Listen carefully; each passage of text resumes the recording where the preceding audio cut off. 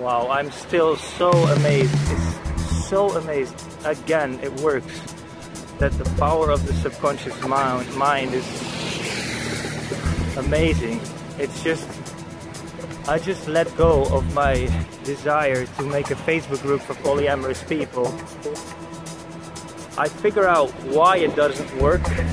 There were some aspects in it that were ego driven, there were some aspects in it that were not present, that were trying to get something,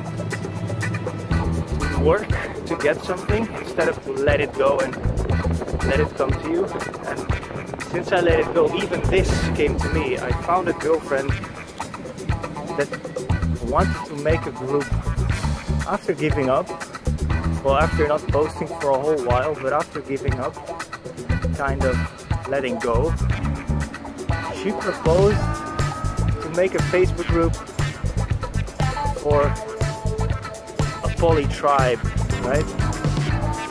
For, for men and women to meet each other, but mostly for to make a, a, a yeah, what it is, what it says, a tribe.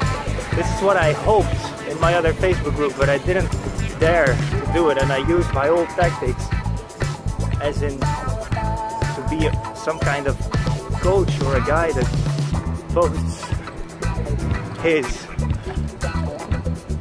knowledge. That's not how you get people, right? It doesn't work, but I didn't know how to make it work. It was too ego too ego driven and now I just let it arise naturally and it just happens anything anything that you want to make happen just happens just stop to grasp stop to get stop to stop to feel amazing there instead of here. Feel amazing here. You don't feel amazing here. Right here. Right now. Inside you. Then you will sabotage yourself big time. Guaranteed.